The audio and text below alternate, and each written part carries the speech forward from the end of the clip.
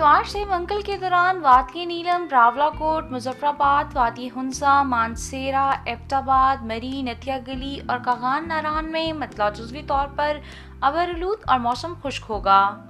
रात और सुबह के अवकात में शदीद सर्दी रहेगा, जबकि गिलगित, चित्राल, सवात और बलाई दीर में मतला अबरलूद रहने के अलावा हल्की बारिश और पहाड़ों पर हल्की बर्फबारी का इम्कान है। ज़्यारत और इससे का इलाकों में आइंदा चंद रोज़ तक बारिश का कोई इम्कान नहीं।